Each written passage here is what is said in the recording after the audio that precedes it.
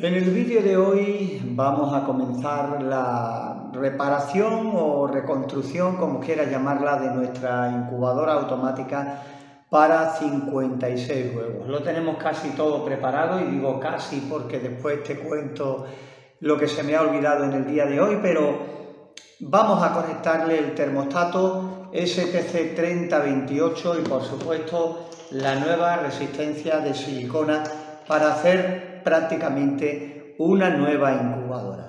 Quédate porque lo mismo, tú estás en esta situación, tienes una vieja incubadora comercial y quieres eh, ponerla en uso de nuevo para seguir incubando con ella, aunque ya no de la misma forma.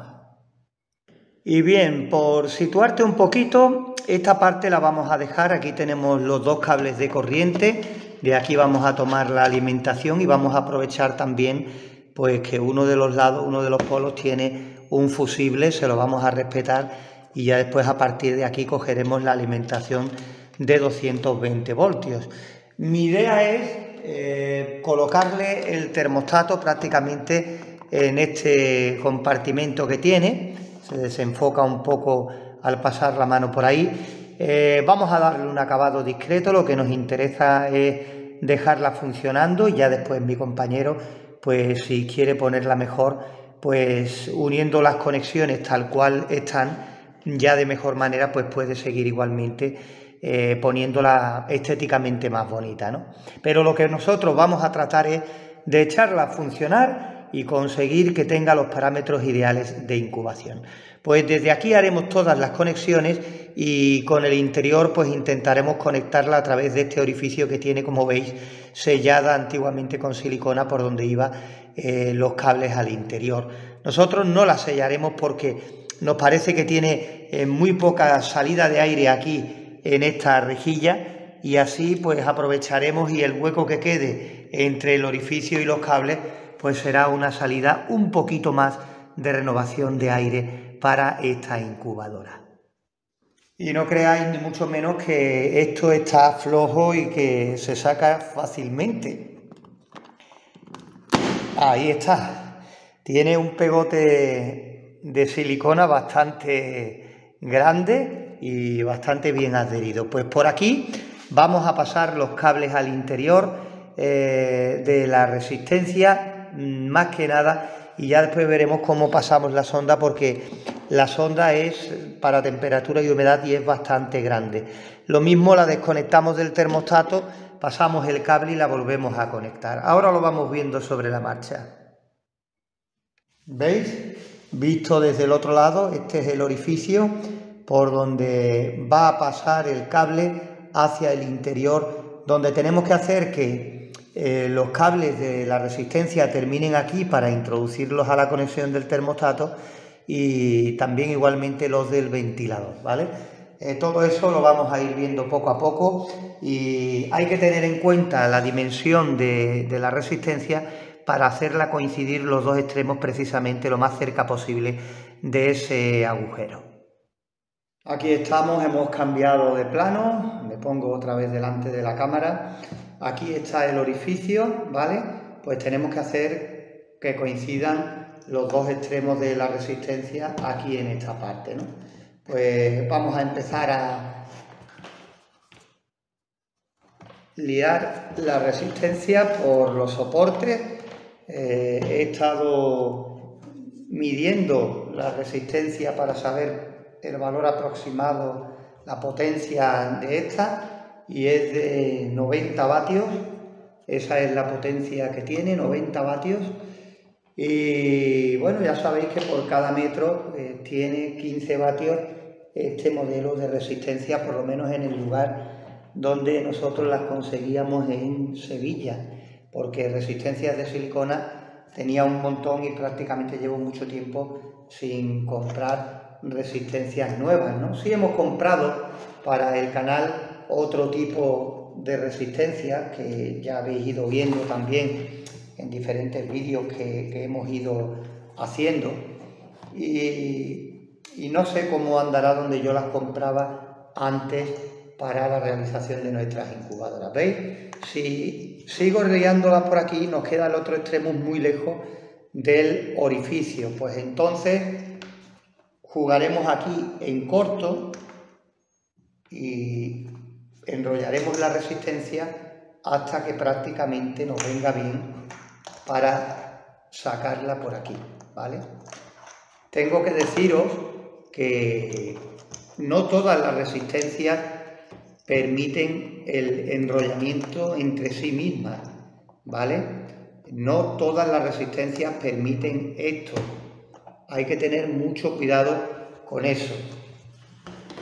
¿Veis?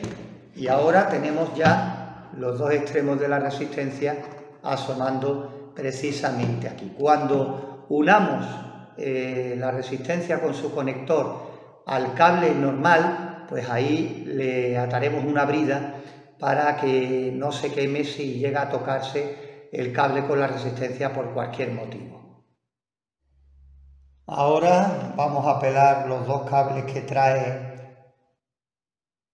directamente del conector que traía la propia incubadora.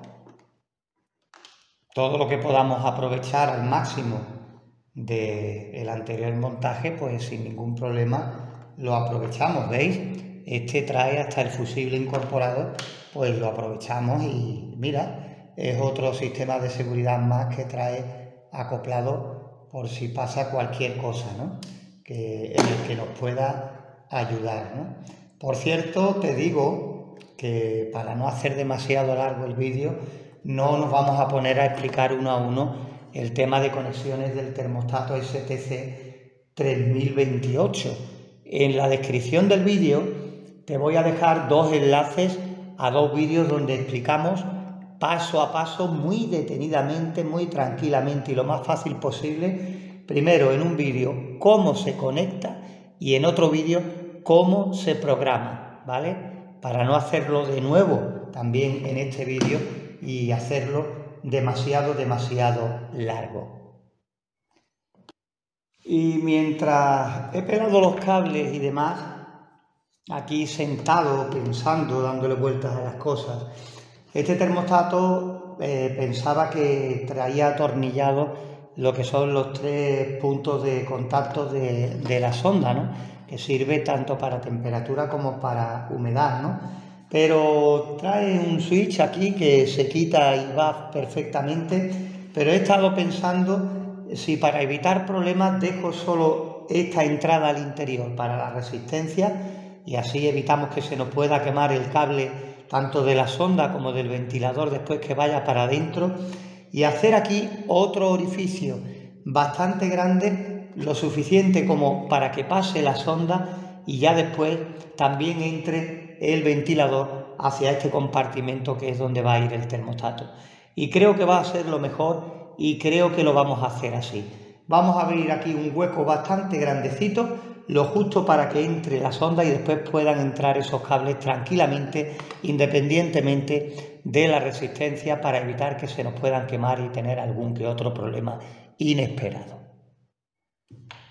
Bien, hemos ido por un taladro, porque esto, aunque parezca que no es pasta dura, y por lo menos el primer orificio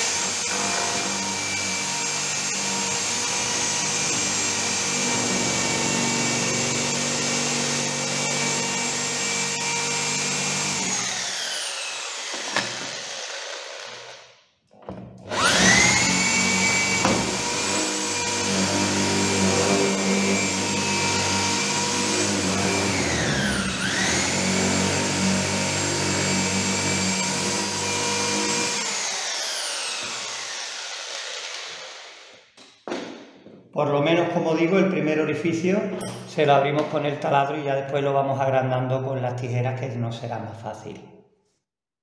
Bueno, aquí tomándome un descanso porque eh, en el vídeo ha sido poco tiempo, pero no veas para abrir aquí el agujero. Estoy con una cegueta, con unos alicates, con las tijeras. Esta tapa es bien dura y además no tenemos muchas herramientas aquí para colmo. Para colmo, fijaros el dedo aquí intentando abrir el orificio. Lo llevo bastante adelantado, a ver si se puede ver, pero los quiero abrir un poquito más todavía si cabe, para que entre la sonda bien. Ya después, si cuando hagamos las pruebas de temperatura y humedad relativa vemos que es demasiado grande, pues cogemos silicona y lo sellamos según nos convenga. Pero ahora para arranque vamos a abrirlo lo justo que entre, como ya te digo, la sonda, que es bastante grande, que no, no creáis que es pequeñita. Aquí está. Y todavía nos queda pues un ratito por aquí limando y cortando. No vamos a grabarlo todo porque si no, evidentemente sería mucho tiempo, pero que, que, está costando, sobre todo con las herramientas de las que disponemos ahora mismo. Bien, trabajito que ha costado, pero ya tenéis aquí, le voy a quitar un poquito de rebaba y ya, fijaros la sonda que bien entra al interior de la incubadora. Ya con eso, eh, pasando este cable después nos va a sobrar sitio una vez que pase la sonda y ya después por ahí pues también meteremos la parte del cableado de ventilador, ¿vale? Así los mantenemos independientes de lo que es el cable de temperatura, la resistencia de silicona para evitar cualquier problema por el roce entre esos cables. Y ahora aquí pues eh, os quiero contar algunos problemas que van a impedir que en este vídeo podamos dejarla terminada. Porque no por el tiempo que hemos tardado en abrir el orificio, sino porque eh, estoy aquí pensando hoy un poquito más centrado que otros días. Y es que veréis, este ventilador es de 12 voltios eh, y quiero hacerla lo más simple posible para que el compañero no tenga problemas y para simplificar el montaje y demás. Aquí tenéis el cable rojo-negro positivo o negativo de los 12 voltios. Y voy a buscar por aquí la placa. Aquí está la placa de circuito impreso. Pues claro, aquí en esta misma placa pues eh, traía el transformador que ahora os lo enseño, un diodo puente rectificador y un circuito integrado para estabilizar la corriente en esos 12 voltios. Eh, no nos vamos a poner a hacer ahora una fuente de alimentación, ni se puede conectar directamente el transformador porque sería 12 voltios en corriente alterna. ¿Vale? Para los que entendáis un poquito menos en electrónica, no es muy complicado eh, hacer una fuente de alimentación aunque sea eh, no estabilizada, simplemente con un puente y un condensador, pero tendríamos que añadir ya más componentes a, lo que es la incubadora. Por cierto, que la resistencia de silicona la quité para no, dañarla mientras estábamos haciendo el agujero. Lo digo ahora porque me he acordado. Eh, nosotros los ventiladores que, que utilizamos normalmente para simplificar, como te digo, el montaje, pues son de 220 voltios, son más gordos que este. Este es muy estrechito, este mide pues quizás que un centímetro o medio centímetro menos de grosor que los que utilizamos nosotros habitualmente en las incubadoras que hemos mostrado en el canal. Pero sí creo que son de 12 por 12 y este es de 12 por 12. ¿Sabéis por qué os lo digo? Porque intentar quitar este tal cual y utilizar los mismos orificios que tiene para la sujeción a lo que es la tapa de la incubadora. Así no tendríamos que hacer ninguna modificación y nos vendrían bien estos suplementos para atornillar el ventilador a la tapa, si no, pues ya tendríamos que buscar la forma de hacerlo. Pero no les quiero dejar este mismo ventilador, así que eh, voy a buscar por allí por casa a ver si encuentro estos ventiladores de 220 voltios. En cuanto llegue lo primero que voy a hacer es medirlo, a ver si miden 12 por 12 y quitar este y ponerlo y ya manejamos 220 en toda la conexión de la incubadora, tanto en componentes evidentemente como termostato y este componente también, el ventilador. Lo que voy a hacer ahora es volver a liar la resistencia alrededor y ahora despedimos el vídeo y te cuento qué es lo que vamos a hacer en el próximo. Bueno, pues ya está, hemos reliado de nuevo la resistencia, lo que sí hemos hecho es separarla en esta ocasión más del techo para que así no se caliente tanto el plástico y estén eh, prácticamente a la misma altura que el ventilador, que bueno, es una tontería, pero sobre todo para que no toque con el techo. Así nosotros nos pegamos a la placa después, le ponemos aquí sus pegotitos de silicona caliente y así los cables ya no tenemos problemas de que se quemen ni nada por el estilo. Que lo dicho, eh, me hubiera gustado caer antes en esto del ventilador, pero no ha sido así, ha sido mientras que hemos estado montando el vídeo y demás. Eh, voy a prepararme el ventilador. En cuanto llegue a casa, lo primero que voy a hacer es medir si mide 12 por 12 y lo puedo encajar en los mismos orificios.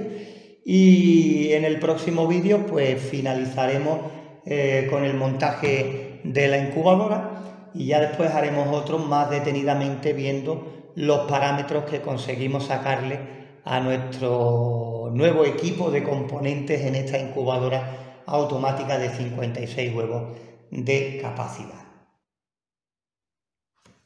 Pues hoy hemos adelantado bastante nuestra incubadora, no como me hubiese gustado en un principio, como tenía pensado, pero bueno, vamos improvisando sobre la marcha. Yo creo que hoy, pues lo que es el corazón de la incubadora está ya casi. Eh, imaginaros que en vez de este ventilador, como os he contado, pongamos ya el suyo, las conexiones al termostato y, ya después más adelante, pues iremos viendo eh, cómo funciona en cuanto a la temperatura y a la humedad relativa. Por hoy nada más, la verdad es que se me ha hecho tarde porque el vídeo, procuro no hacer vídeos demasiado largos ahora, pero en tiempo, mientras que hemos estado eh, mirando las cosas, cayendo en lo del ventilador y abriendo el orificio, pues la verdad es que nos hemos pegado bastante tiempo aquí eh, dándole caña a esta incubadora automática. Os espero en el siguiente vídeo. Después haremos un vídeo para que no tengáis pérdida con todo en uno mismo, aunque se vaya un poquito más de tiempo, porque lo sabéis que no queréis los vídeos largos y otros preferís tener un vídeo largo con todo el contenido para no tener después que, bueno, ir buscando. Muchas gracias a todos por seguirnos y un saludo.